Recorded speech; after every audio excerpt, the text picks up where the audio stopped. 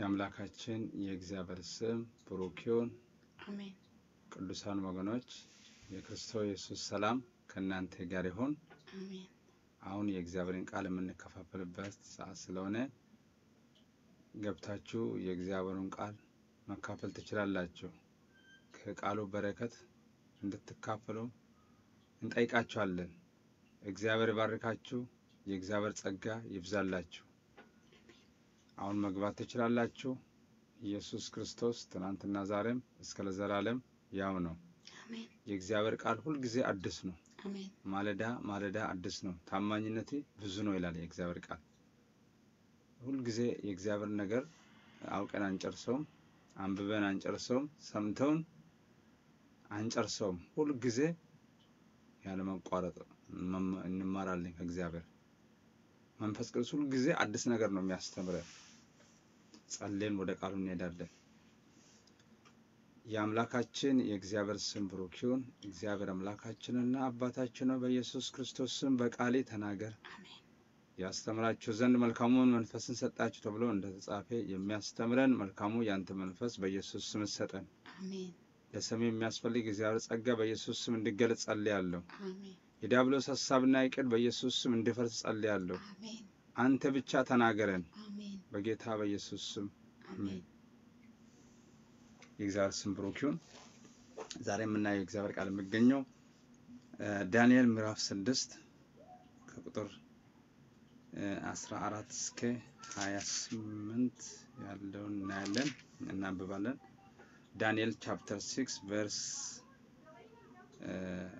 fourteen through twenty eight ንጉሱም ይህን ቃል በሰማ ጊዜ በጣም አዘነ። ያድነውም ዘንድ በሰማ ያድነውም ዘንድ ልቡን ወደ ዳንኤል አደረገ። ሊያድነውም ፀሐይ እስኪገባ ድረስ ደከመ።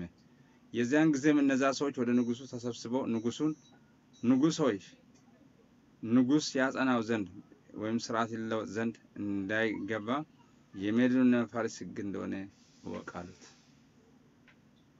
የዚያን ጊዜም ንጉሱ አዘዘ። ዳንኤልም አምጥቶ በአንበሶች ጉድጓድ ጣሉት።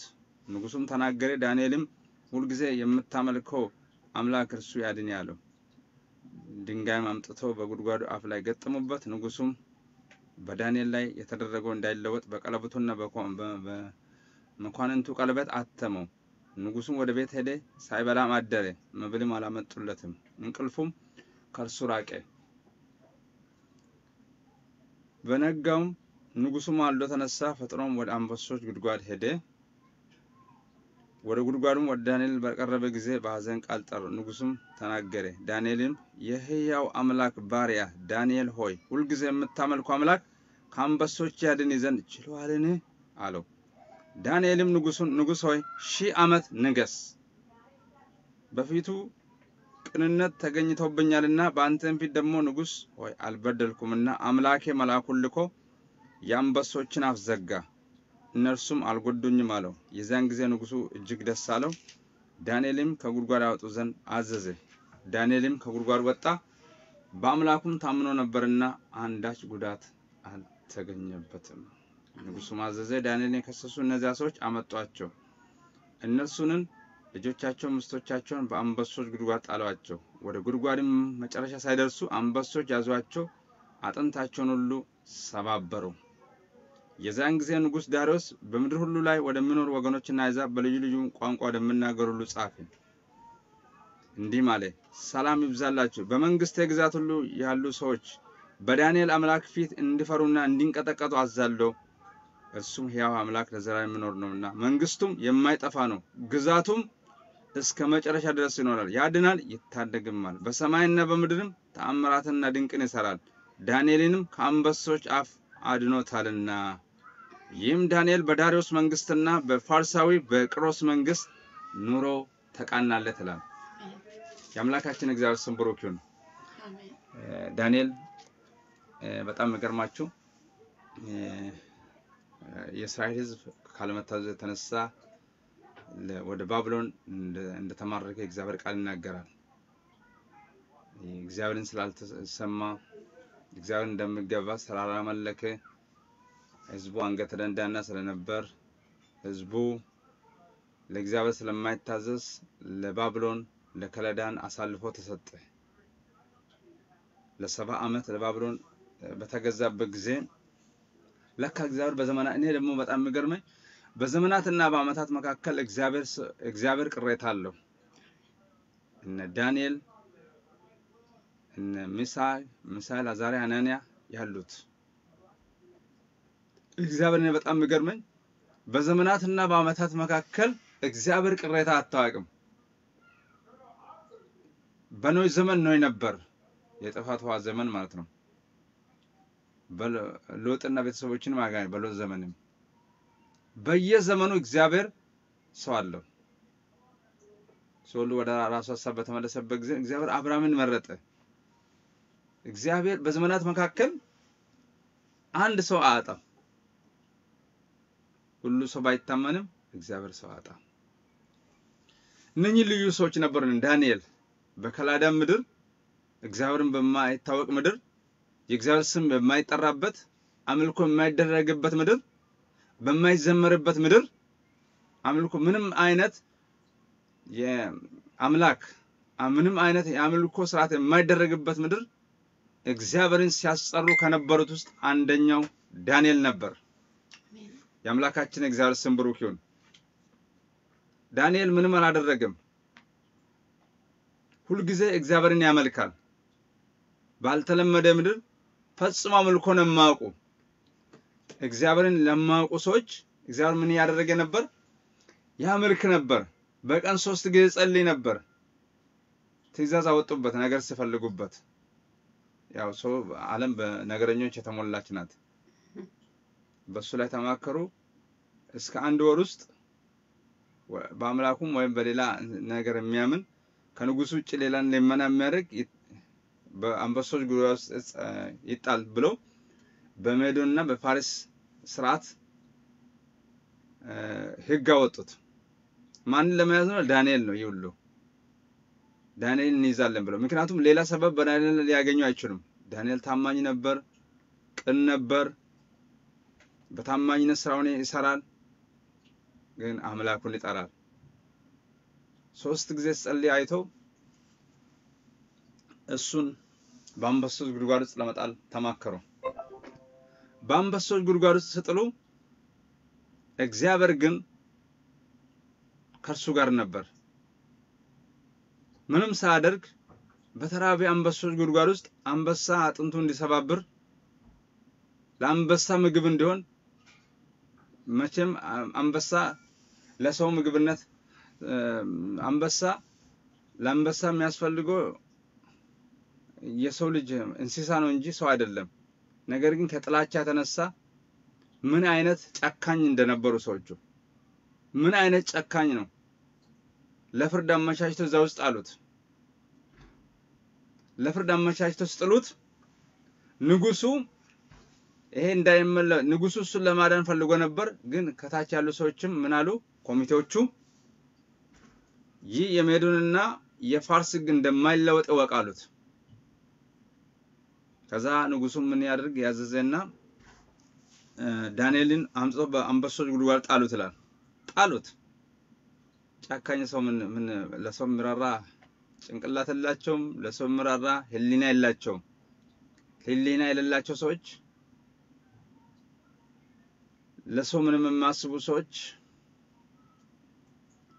ለሰብአዊ ፍጡር ምንም አይነት ደንታ የሌላቸው ሰዎች ዳንኤልን በአንበሶች ጉድጓድ ውስጥ ጣሉት። ከዛም ራሱ ለማውጣት እንዳይችል ድንጋዩ ምን ያደረጉት ገጠሙት ይላል። መውጣት እንዳይችል ተደርጎ ነው እኮ በምንም እንዳይመ በቃ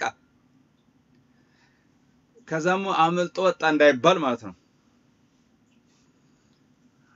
እሱ ግን ንጉሱ የዳንኤል ጥሩ ነገር ስለሚያይ ሁልጊዜ የምታመልኩ አምላክ አንተን ያድን አለው። ከዛ በኋላ ንጉሱ መብል እበላለሁ ብሎ እንደ ድሮ መብል እበላለሁ ብሎ ነበር። መብል መብላት አልቻለም። እሺ ብሎ ምግብ ካልሆነ ደግሞ ስራ ላይ ነበርኩና መተኛት አልቻለም። መተኛት አልቻለም። እንቅልፍ ከሱ ራቀ። የእግዚአብሔርን ሰው ለጉድጓድ በጉድጓድ ውስጥ ጥሎ በአንበሶች ጉድጓድ ውስጥ ጥሎ መብላት አይቻልም፣ ማንቀላፋት አይቻልም፣ እረፍት ማድረግ አይቻልም። ባልንጀራቸውን እረፍት አመፅ ውስጥ አስገብተው ባልንጀራቸውን ችግር ውስጥ አስገብተው ዝም ብሎ ማንቀላፋት አይቻልም። እግዚአብሔር ጻድቅና ቅን ፈራጅ ነው። እንቅልፍ ከእርሱ ራቀ። ከዛ እሱ ሳይተኛ አደረና በነጋው ንጉሥ ማልዶ ተነሳ ይላል። ፈጥኖም ወደ አንበሶች ጉድጓድ ሄደ ይላል። ሄደ ወደ ጉድጓዱም ወደ ዳንኤል በቀረበ ጊዜ በሐዘን ቃል ጠራ። ንጉሱም ተናገረ፣ የሕያው አምላክ ባሪያ ዳንኤል ሆይ ሁልጊዜ የምታመልከው አምላክ ከአንበሶች አፍ ያድን ዘንድ ችለዋልን ያለው ከአንበሶች ያድን ዘንድ ችለዋልን ያለው ዳንኤልም ንጉሱን ዳንኤልም ንጉሱን ንጉሥ ሺህ ዓመት ንገስ አለ። በጣም የሚገርም ነው። በአንበሶች ጉድጓድ ውስጥ ተጥሎ አየር በሌለው እዛ ውስጥ ገብቶ እዛ መኖር ማለት በጣም ከባድ ነው። ሆይ ያለ ሺህ ዓመት ንገስ አለ። ድምፁ ተሰማ ከጉድጓድ ውስጥ ሆይ ሺህ ዓመት ንገስ በፊቱ አለ ቅንነት ተገኝቶብኛል አለ። በማን ፊት? በልዑል በእግዚአብሔር አምላክ ፊት ቅንነት ተገኝቶብኛል አለ። ቅንነት የተገኘባቸው ሰዎች በአንበሶች ጉድጓድ ውስጥ እንኳ ብጣሉ እግዚአብሔር በዛ እንኳ ያድናቸዋል፣ በዛ ያድናቸዋል። ሃሌሉያ! የአምላካችን እግዚአብሔር ስም ብሩክ ይሁን። እንደዚህ በአንተም ፊት ደግሞ ሆይ አልበደልኩም አለ። እኔ እግዚአብሔርን አልበደልኩም ንጉሱንም አልበደልኩም አለ። አምላክ ያለ መልአኩን ልኮ የአንበሶችን አፍ ዘጋ አለ። ደስ የሚል ነው እግዚአብሔር። ሰው ሁሉ ጨካኝ ሲሆን፣ ሰው ሁሉ ሰውን በአንበሶች ጉድጓድ ስጥል እግዚአብሔር ምን ያደርጋል? መልአኩን ላከ። ሰው እንኳ ባድነንም እንኳ እግዚአብሔር መልአኩን ልኮ ነው የሚያድነን። የሚያድን ሰው በተገኘበት ባልተገኘበት ስፍራ እንኳ እግዚአብሔር መልአኩን ልኮ አንተን ያድናል። ብቻ በእግዚአብሔር ፊት ያንተ ቅንነት ይታይ እንጂ ብቻ በደለኛ አትሁን እንጂ እግዚአብሔር መልአኩን ልኮ ያድናል። ሰው ባይድንም እግዚአብሔር ብቻውን አዳኝ ነው። ከሰው የሚበልጠው መልአክ መጥቶ የአንበሶችን አፍ ዘጋ። ዛሬ መብላት አትችልም አለው።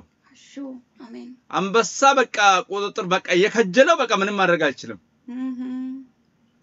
ሊዘልም ምናምን ስል አፉን ዘግቷል። መልአኩ ዘጋው፣ ግጥም አድርጎ ዘጋው። እንደውም አንበሳው የሚጨነቅ ነው የሚመስለኝ። ምክንያቱም መብላት እየፈለገ መብላት እያማረው ስላልበላ አንበሳው ራሱ ማለት ነው ብዙ በቃ አንበሳው ራሱ ብዙ ተጨንቋል። ምን ዳንኤል እስኪወጣ ድረስ አንበሳው ራሱ ሳይጨነቅ አልቀረም። አንበሳው ራሱ መልአኩን ስለማይ ዳንኤልን ስለማይ ይህ ሰውዬ ነው የዘጋኝ ብሎ ነው የሚያስበው። መቼ ነው የሚወጣልኝ ብሎ ነው የሚያስበው የሚያስበው። ምንም አልተነገረም። ግን አንበሳው ራሱ ሌላ የምታይ ነገር አጠገቡ ስለሌለ መልአክን ማየትም ስለማይችል አጠገቡ ያለው ዳንኤል ስለሆነ ዳንኤል መቼ መቼ ይወጣል ብሎ ነው የሚያስበው። ምክንያቱም መብላት አልቻልኩም እየተጨነኩ ነው ብሎ እግዚአብሔር ዘጋው። እግዚአብሔር እኮ የተአምራት አምላክ ነው። የእስራኤል አምላክ የተአምራት አምላክ ነው። ወገኔ ዛሬ የምታመልከው አምላክ እርሱ የተአምራት አምላክ ነው። ተአምራትን ዛሬም ያደርጋል። የእግዚአብሔር እግዚአብሔር አምላክ ተአምራቱን ለዳንኤል ብቻ አይደለም፣ ዛሬም እግዚአብሔር ያደርጋል። ተአምራቱን ያደርጋል። ሰው አንተን ብጥልም እንኳ ሰው በማትፈልገው ነገር ውስጥ ቢያስገባም እንኳ እግዚአብሔር ከዛ ውስጥ በራሱ ልብት ያወጣል። አሜን እግዚአብሔር በራሱ መንገድ ያወጣል። አሜን ጠላት እንደፈለገ አያደርግብህም። የፈለገ እርምጃ ቢወሰድብ እግዚአብሔር ከዛ ሁሉ ያድናል። ከዚህ የበለጠ ከባድ ነገር የለም። በአንበሶች ጉድጓድ ውስጥ ከመጣል የበለጠ ከባድ ነገር አለ ብዬ አላስብም። በዛ ሁሉ እንኳ እግዚአብሔር የራሱን ሰው ያድናል። አሜን። እንዴት እንደሚያድን ያውቅበታል። እንዴት እንዲያድን እግዚአብሔር ያውቅበታል። አምላክ ያውቅበታል። እንዴት ከገባበት ነገር እግዚአብሔር አንተን የሚያወጣበትን መንገድ እግዚአብሔር ያውቃል። እንዴት በምን መስመር እንደምትወጣ እግዚአብሔር ያውቃል። በምን ሁኔታ በምን ብላት እንደምትወጣ እግዚአብሔር ያውቃል። ስለዚህ ምንም አትሆንም።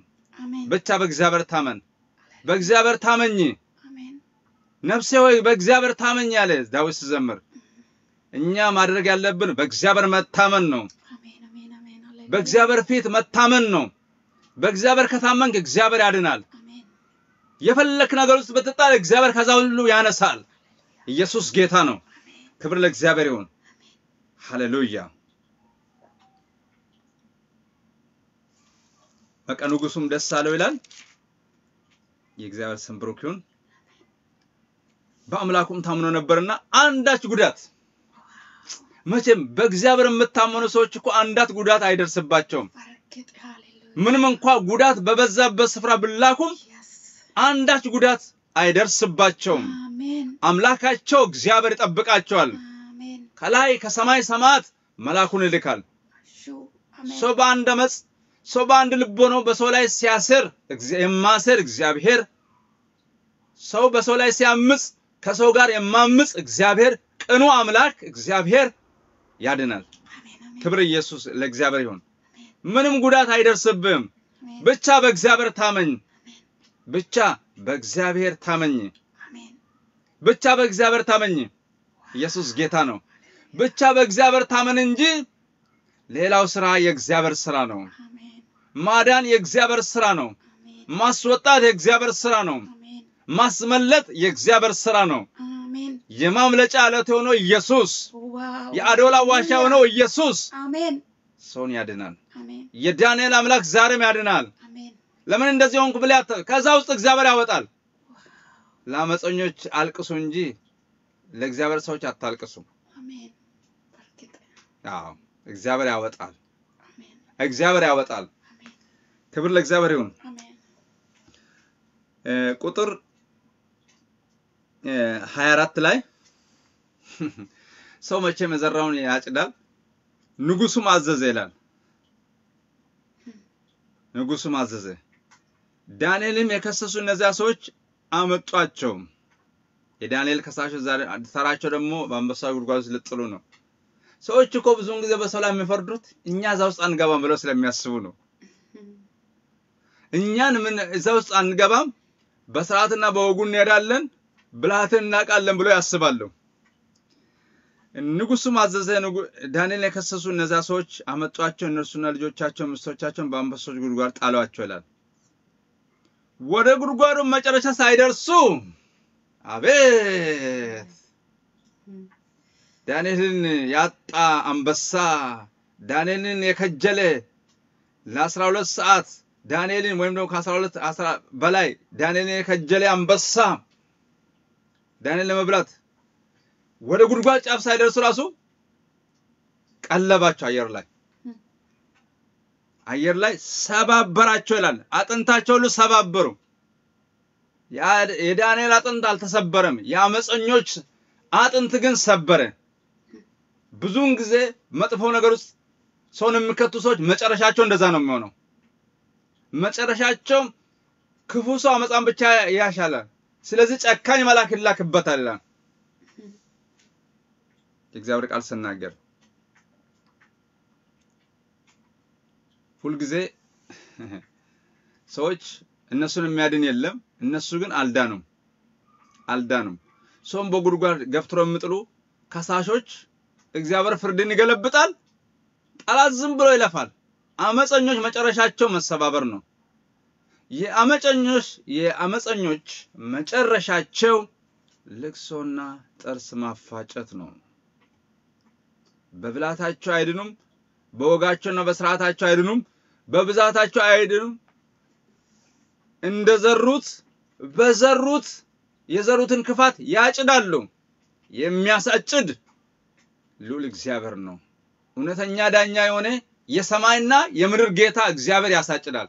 ወዶ ነው ወዶ መሰላቸው እንደ የሚያጭዱት ወዶ ያጭዱ የዘሯትን ያጭዳል። አንድ በአንድ መጥፎ ዘር መጥፎ ነገር ያጭዳሉ። የዳንኤል ድል አጋጠማቸው።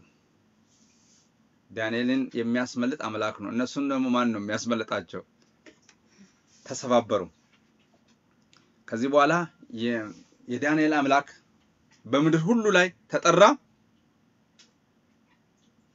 በምድር ሁሉ የዳንኤል አምላክ ሕዝብ ሁሉ እንዲንቀጠቀጥ ተደረገ። በዛ ምክንያት ራሱ የዳንኤል አምላክ ታወቀ። የዳንኤል አምላክ በባዕድ ምድር ታወቀ፣ ትክክለኛ አምላክ እንደሆነ መንግስት ሁሉ የዘላለም አምላክ ነው አለ። መንግስቱም የማይጠፋ ነው፣ እስከ መጨረሻ ድረስ ነው፣ ያድናል ይታደግም አላለ። በእውነት እንደሚያድን እንደምታደግ ከዳንኤል ነው ያዩት። እግዚአብሔርን የማያውቅ ህዝብ ራሱ ስለ እግዚአብሔር መሰከረ። የእግዚአብሔርን ማንነትን አወቁ። ክብር ለእግዚአብሔር እንደ ዳንኤል። ምክንያቱም ዳንኤልን ከአንበሶች ጉድጓድ እግዚአብሔር ታምራትን ሰርቶ ነው። ቁጥር 28 ላይ አንብቤ ጨርሻለሁ። ይህም ዳንኤል በዳሪዮስ መንግስትና በፋርሳዊ በቅሮስ መንግስት ኑሮ ተቃናለት። በዘመናትና በዳሪዮስ መንግስትና በፋርሳዊ በቅሮስ መንግስት የዳንኤል ኑሮ የተቃናው የዳንኤል ኑሮ የተቃናው መሰላቸው በእግዚአብሔር ላይ ስለታመነ ነው። በእግዚአብሔር ላይ የምታመኑ መልካም መንፈስ ያለባቸው በእግዚአብሔር ፊት ቅን የሆኑ ሰዎች መልካም መንፈስ ያለባቸው ሰዎች ምን ይሆናሉ? በማንኛውም መንግስታት የነሱ ነገር ይጨምራል። የነሱ ነገር ከፍ ብላል። መንግስታት በተለዋወጡ ጊዜ የነሱ ነገር ያው ነው። ምክንያቱም በአምላካቸው በእግዚአብሔር ስለምታመኑ። ክብር ለእግዚአብሔር ይሁን። ጌታችን ትቀጥላለች። የጌታችን መድኃኒታችን ስም እየተባረከ ይሁን። አሜን። ደስ ይላል። የእግዚአብሔር ቃል ልብን የሚያረካ የእግዚአብሔር ቃል ብቻ ነው የሚያሳርፍ። ሃሌሉያ! አሜን። ብዙ ቃላት፣ የነገስታት ቃላት፣ የመንግስታት ቃላት አንድን የእግዚአብሔር ሰውን ለማረጋጋት አይችሉም። ግን የእግዚአብሔር ቃል አንድ እግዚአብሔር አፍ የሚወጣ ቃል ሰውን ያረጋጋል ከማንኛው ነገር ማለት ነው። ምክንያቱም ለምን ይሄ የእግዚአብሔር ሰው ምንም አላጠፋም፣ ምንም አላደረገም፣ ሰው ላይ ክፋትም አልሰራም። በአምላኩ ፊት በቀን ሶስት ጊዜ የጸለየበት ጉዳይ ነው። ቅናት የተነሳባት ማለት ነው። የተነሱበት ቀኖት። ስለዚህ ወደ ንጉስ ሄዱት፣ አማራጭ ስለሌላቸው። ቅናተኞች አማራጭ ብዙ ጊዜ አማራጭ የላቸው። ወዴት ነው መሄድም ያለባቸው? አቅም የላቸውም። ቅናተኞች ይቃጠላሉ። በጣም ነው የሚቀኑ፣ በጣም ይጨነቃሉ። ግን ወዴት ይሄዳሉ? ወደ ሀገር ገዢ ሊሄዱ ይችላሉ። አቅም ስለሌላቸው አቅም ወዳለ ለመሄድ ይች- ይችላሉ። ማለት የራሳቸውን በልባቸው ውስጥ ያለው ለማድረግ ለመፈጸም ማለት ነው። ለዚህ እኮ ነው አንዳንድ ጊዜ ነገርን የሚያመላልስ ተብሎ አሁን ማለት በቋንቋ ማለት ነው ነገር እክሌ ነገር ነው የሚያመላልስ ይባላል። ነገር ያመላልሳል ማለት አንደኛ ከቅናት የተነሳ ነው ነገር የሚያመላልሰው ያንን ሰው ላይ ተንኮልን የሚዶልትበት ክፋትን የሚሰራበት በራሱ ሄዶ ማድረግ በግልጽ ሄዶ ለማድረግ ስለሚፈራ ምንድን ነው ያንን ስልጣን ያለውን ሰው እጅጓን ታድርጎ ማለት ነው እሱን ግላብ አድርጎ ሊሄድ ይችላል ማለት ነው። ግን ማን ነው ያደረገ ይላል? ያ ባለስልጣኑ ነው ያደረገ። ግን ያደረጉ ቅናተኞች ናቸው። በቀን ሶስት ጊዜ በአምላኩ ፊት የሚቀርበውን ዳንኤልን አንበሳ ጉድጓድ እንድጣል የፈጠሩት ይህንን ቃል ከአፋቸው የወጣ በዚህ በአንድ ወር ውስጥ ያሉ ማንም ሰው ወዴት እንዳይጸልይ አድርገው ብሎ ንጉሱን ቃሉን የሰጣቸው እነሱ ናቸው ራሳቸው ማለት ነው። እንደዚህ በል አድርገው አሉት እና ይሄ የቅናት መንፈስ መንግስቱን መንግስት እስከሚሳሳት ድረስ አደረገ ማለት ነው። ያ ገዢው የአገር ገዢው የእነሱን ቃል ተቀብሎ ማለት ነው አንድ ወር ወዴት እንዳትጸልዩ አለ። ማንም ሰው ወደ ምላኩ ወደ ሰውም እንዳይጸልይ ተብሎ ኃይለኛ ቃል ነው የወጣ ማለት ነው። ይህ ኃይለኛ ቃል ከቅናት የወጣ በቅናት ከተቃጠሉ ከተቃጠሉ ሰዎች የወጣ ወደ ባለስልጣን ወደ ሰውየው መጡና ተናገሩ። በቃ ስለዚህ ይህንን ቃል ማለት ነው ሳይሸራርፍ አወጣ። ማንም ሰው ብለው በአንድ ወራት ውስጥ አንድ ወር ውስጥ ወደ ሰውም ቢሆን ወደ ማንም ወደ መላኩ ማንም ሰው እንዳይሰግድ ወደ እነሱ እንዳይጸልይ ተብሎ ግን ዳንኤል ይህን ወጥቶ ካነበበ በኋላ የእግዚአብሔር ሰው የጸና የእግዚአብሔር ሰው እንደለመደ ይላል። ካነበበ በኋላ አላደርግም አላለም። አሁንም ሄዶ እንደገና በሶስት ማለት በቀን ሶስት ጊዜ እንደድሮ ቀጠለ ማለት ነው። እና ነገሩንም አሁንም ቀጠለ፣ አቀጣጠለ። እግዚአብሔር ፊት መፈለግ ማለት ነው። እግዚአብሔር ጋር የሚነጋገርበት ማለት ነው። ዳንኤል ሲጸልይ እክሌን አጥፋ። ዳንኤል ሲጸልይ የሆነ ሰው ላይ ቀንቶ አይደለም። እሱ ከአምላኩ ጋር ነው የሚነጋገረው። የት ሆኖ ነው? በምርኮ አገር ሆኖ ነው። የት ሆኖ ነው? በብቻ አገር እኮ አይደለም። አምላክ የሌለበት ማለት ፈጣሪ አለ ተብሎ የማይመለክበት ባዳ አገር ማለት ነው። ስደት ውስጥ ሆኖ ማለት ነው። ተሰዶ ነው እዛ ያሉ ተማርኮ ነው ይሄ ያለው። ምርኮኛው የእግዚአብሔርን ኃይል እዛ ሲገልጥ ምርኮኛው ለእግዚአብሔር ተንበርክኮ በሶስት በቀኑ ውስጥ ሶስት ጊዜ ይጸልያል። ሶስት ጊዜ ማለት እሱ ምሳ ቁርስ ስርዓቱ ነው ማለት እኮ ነው። ጸሎቱ ምሳ ቁርስ ያደረገ የእግዚአብሔር ሰው አንበሳ አይበላም። ለምን ሲባል ከእግዚአብሔር አፍ ቃል ወጥቶ ነበርና ልክ ንጉሱ ይህንን ከቅናተኞች ተቀብሎ እንደ ጻፌ እንዳደነገገ እንደፈረመ እግዚአብሔር ከሰማይ ትእዛዝ ወጣ። ችግር የለም አለ እግዚአብሔር። አርጉበት፣ ፈጥኑ፣ አድርጉ፣ ምንም ችግር የለም ብሎ ጠበቃቸው። እግዚአብሔር ታጋሽ አምላክ ነው። አንበሳ አንድ አንበሳ እኮ አይደለም፣ ሁለት አንበሶች እኮ ነው። አንበሶች እኮ ነው። በቃ አንድ ሀብታ እንዲጨርሱ ማለት ነው። የእግዚአብሔር ሰው እንዲህ አንበሳ የሚቦጫጨቅበት እንዳለ ጠላት የሚቦጫጨቅበት ሰው አይደለም። የእግዚአብሔር ሰው ለምን ሲባል እግዚአብሔር በአንድ ቀኑ ሶስት ጊዜ የሚጠራ አምላክ ከዳንኤል ጋር ነበረ።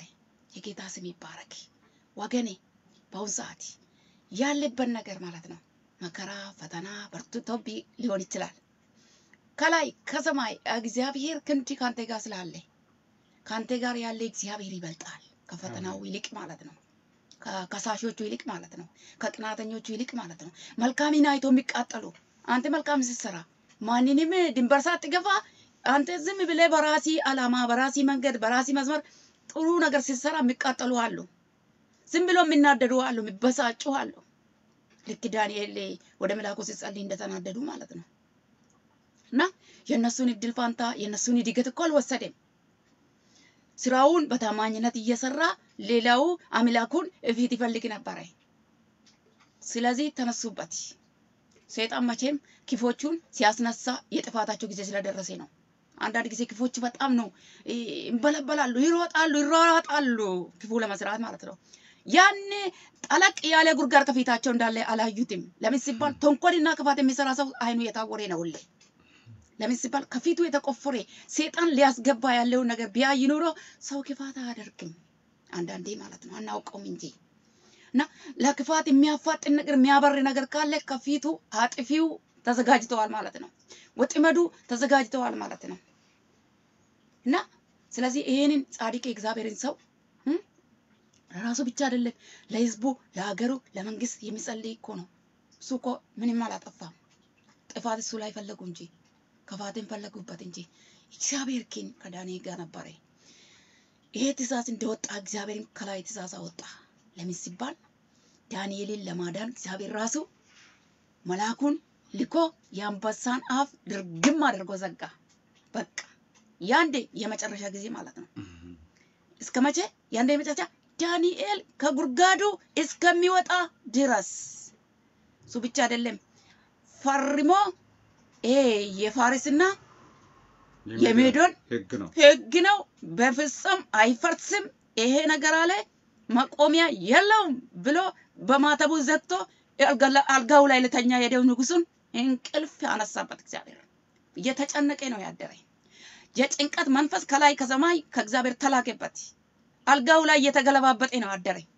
መቼ ይነጋኛል እያለ እሱ የእግዚአብሔርን ሰው አንበሳ ውስጥ ጥሎ አልጋው ላይ ልተኛ የለም የእግዚአብሔርን ሰው አጨናንቆ የሰውን የእግዚአብሔርን ሰው አንበሳ ጉርጓድ አንበሶች ጉርጓድ ውስጥ ጥሎ ማረፍ የለም። እንደዚህ አይነትማ በቅጀት እንኳን አታስቢ። በቅጀታችን ማሰብ የለብንም። ለምን ሲባል አንድን ምንም ያላጠፋውን ጥፋት የምትፈልጊ ምንም አንድ ነገር ክፋት ያልሰራውን ክፋት የምትፈልጊ? ዝም ብለ የሆነ ነገር አገኘዋለሁ፣ በዚህ ይጠምዳለሁ፣ በዚህ ይገላለሁ ብለ የምትሄድ ተጠንቀቂ። እግሪክን እጅክን ሰብስቢ። የጻድቁን ጥፋት አትፈልግ። ለምን ሲባል እግዚአብሔር ጻድቃንን ይጠብቃል ይላል የእግዚአብሔር ቃል ሲናገር። በቃ ጻድቃን ለምንድን ነው ሲባል የእግዚአብሔር ወኪሎች ናቸው። እግዚአብሔር የሚፈልገውን የሚፈልጉ ናቸው። ለዚህ እግዚአብሔር ይተጋል ማለት ነው። እንደው አንድ ጻድቅ በሰፈሪ ካለ በአገሪክ ውስጥ ካለ ከዛ ሰው ጻድቅ የተነሳ አንተ ትተርፋለህ እና ጻድቁን ለማጥፋት አትሯሯጥ፣ ትቀድማለና መጠንቀቅ አስፈላጊ ነው። እግዚአብሔር ትልቅ ነው። ለምን ሲባል ያ የእግዚአብሔር ሰው አልተበላም። መጨረሻችን የምንለው ይህ የእግዚአብሔር ሰው በአንበሳ አልተበላም። ከሳሾቹ ግን በአየር ላይ ዘሎ በራብ ያደረው አንበሳ አንበሶች ብዛታቸው ነው የሚያሳ አንበሶች ዘለሉና በራብ ያደሩ ከነ ልጆቻቸው ልጅ ልጆቻቸውም እኮ ሊሆን ይችላል ያዙ፣ ሰባበሩት። ወገኔ ከአፋችን ወጥቶ እኛ ብቻ ለሌላ ሰው ብለን የተናገረ ነገር ተመልሶ እኛን ሊሰብር ስለሚችል መጠንቀቅ አንድ አስፈላጊ ነገር ነው። ምክንያቱም እግዚአብሔር ቃል ይላል መሰላቸው ሰው የዘራውን ያንን ያጭዳል ይላል። መቼም ቢሆን መቼ ክፋት ሰርቴ አንድ የጽርቅ ጽርቅን ነገር አጭዳለሁ ብለህ የምትጠብቅ ከሆነ ዝም ብሎ ሳይታለም እየተፈታ የሚባለው አለ። ሳይታለም የተፈታ ማለት ያልዘራንን እናገኛለን ብለን ዝም ብለን በአየር ላይ ማለት ነው ምንል ነገር ማለት ነው። እና ስለዚህ ሳንዘራ አናጭደውም፣ የዘራውን ደግሞ እናጭደዋለን። ስለዚህ ወገኖቼ ሆይ ትጋት አንድ ነገር በእግዚአብሔር እግዚአብሔርን ፊት መፈለግ እግዚአብሔር ፊት በምንፈልግበት ጊዜ በምንተጋበት ጊዜ ቅናተኞች አሉ ማለት ሴጣን ያስነሳ ስጋ ለባሽ ሊሆን ይችላል። ስለዚህ ይሄንን ፈርታችሁ ከእግዚአብሔር ጋር ያላችሁ ነገር አታቋርጡት። የባሰ የእግዚአብሔር ክንድ ይገለጣል፣ የእናንተ አምላክ ይገለጣል። ምክንያቱም የዳንኤል አምላክ ተብለዋል መጨረሻ ላይ በቃ የዳንኤል አምላክ ተብሎ ስናሳጥረው የዳንኤል አምላክ ተብሎ ታወቀ። በባቢሎን ሀገር ማለት ነው። ፈጣሪ ማቆ ሀገር ማለት ነው። በቃ የዳንኤል አምላክ የሚያመልከው እሱን የሚያመልክ እንደሚኖር ራሱ መልሶ ንጉስ ሌላ ትእዛዝ አወጣ። ይሄ ቃል ሰፊ ነው፣ አሳጥሬን ነው የምናቆመውና ግን ከሁሉም ይልቅ ምንድን ነው መጨረሻ ላይ ነገር ተገልብጦ የዳንኤል አምላክ ተባለ። እሱ እንዲመለክ እንደገና ራሱ ንጉስ ቃል ሲያወጣ እና ትንቢተ ዳንኤል ውስጥ የእግዚአብሔር ክንድ እግዚአብሔር በማያውቁ ሀገር የእግዚአብሔር ክንድ ሲገለጥ እግዚአብሔር ክንድ ሲሰራ የእግዚአብሔር ኃይል ሲገለጥ የእግዚአብሔር ግርማ ሞገስ ሲታይ እናየዋለን። በማን በጸላዮች ጉልበት እግዚአብሔር ይገለጥ ነበረ። ስለዚህ እግዚአብሔርን ፊት የሚፈልጉ የሚንበረከኩ ቀለል እግዚአብሔር ፊት ራሳቸውን የሚያዋርዱ አገሬንም ድንበሬንም ሰውንም ሰው ልጆችንም ዘር ማንዘሩንም ራሱንም ማትረፍ ይችላል። አትርፊ ነው ጸላይ ሰው ያተርፋል። የጌታ ስም የተባረከ ይሁን እና አገር ገዢ ከሚያደርግ የበለጠ አንድ ሰው በአምላኩ ፊት ከጸለየ ማለት ነው ማንንም ነገር ምንም ነገር የመጣውን ነገር ማስቆም ይችላል። መቅሰፍት ማስቆም ይችላል። ኢየሱስ ክርስቶስ ጌታ ነው። ጌታ ቢስተባርካችሁ በዚህ ሰዓት ያለን እዚህ ላይ እናቆማለን። አንድ በኦሮምኛ እየጻፈ አንድ ወንድም የነበረ ብዙ ብዙ ብዙ ቃላት እየጻፈ ነበረ። እግዚአብሔር አብዝቶ ባርኪ እና በጣም ከዚህ ቃል ጋር የሚለው እየጻፈ በፍጥነት እየጻፈ ያስተላለፈ መልእክቱ ነበር እና እግዚአብሔር መልካም ነው፣ እውነት ነው እና እግዚአብሔር ሀሳብ ሲመጣ በሰው ውስጥ እግዚአብሔር ምንድነው መገለጥ ያመጣል። ስለዚህ ጌታ አብዝቶ ባርካችሁ። ሌላ ቀን እስከምንገናኝ ድረስ ሰላም ቆዩ። ጌታ ቃሉን ይባርክልን። ቅናተኞቹን ፈርታችሁ እግዚአብሔርን ፊት መፈለግ አታቋርጡ ብዬ ነው የሚያቆመው። አንበሳማ ይበላቸው ይለዋቸዋለሁ። ጌታ አብዝቶ ባርካቸው። አንበሳ አይበላንም። አሜን።